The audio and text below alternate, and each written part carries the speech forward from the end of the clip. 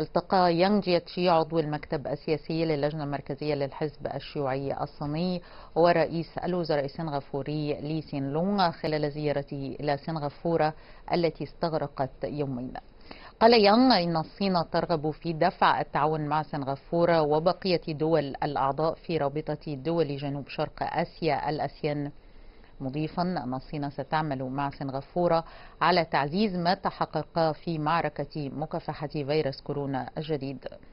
من جانبه أكد رئيس الوزراء السنغافوري أن الوباء يتطلب التواصل والتبادل بين الدول أكثر من أي وقت مضى.